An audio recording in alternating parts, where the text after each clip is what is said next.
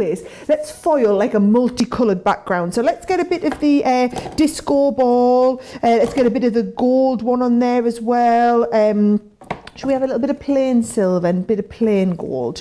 Yeah, let's get a bit. Are these all papercraft ones? Yes, right. So what I'm going to do is I'm just going to get my scissors, she says optimistically, hope she hasn't lost anything, and just cut a few strips of your foil. So I wanted to show you how you can be using different colours and different um, styles of foil all on the same project. So, oh, here's my gold one off here. Right, let's have a couple of bits of gold on here as well. So we've got a couple of silver, uh, same sort of size, couple of gold as well.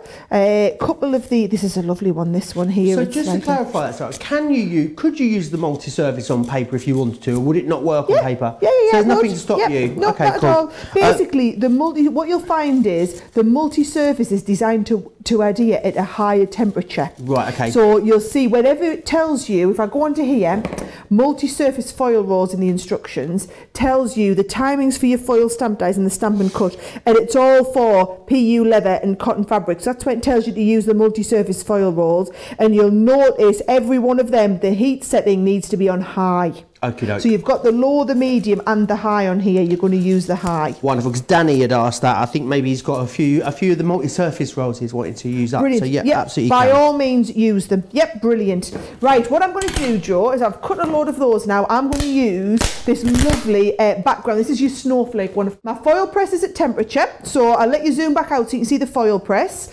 I'll pop this on. Now, for your background, before we go into here, uh, I'm, go I'm going to go into a cello bag, so it's pretty much like acetate sort of thing. So if you look, 30 seconds. Can you see that there? 30 seconds. So I'm going to go on with this and I'm going to go up to 30 seconds all the way up.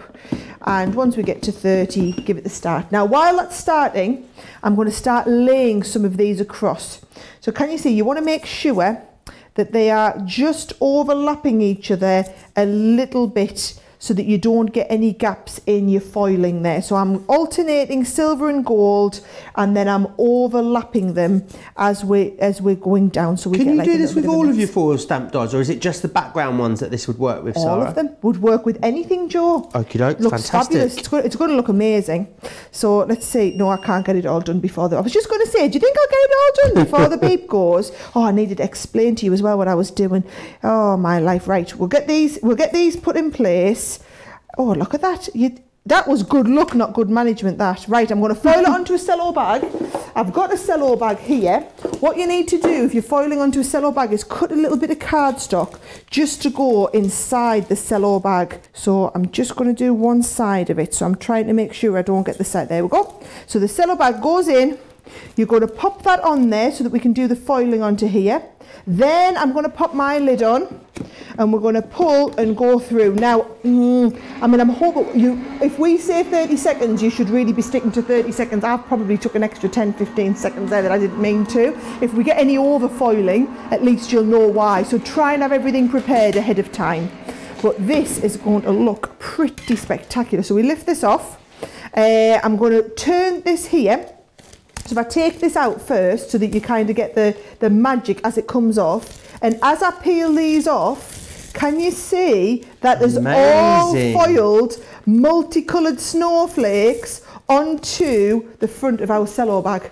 How amazing does that look? And that is for our candle to go in. So that is going to go into there and we've got that fabulous candle which is now all wrapped up so I've done one side you probably want to do the other side in fact let's yeah you probably want to do the other side that's going to look all right from the front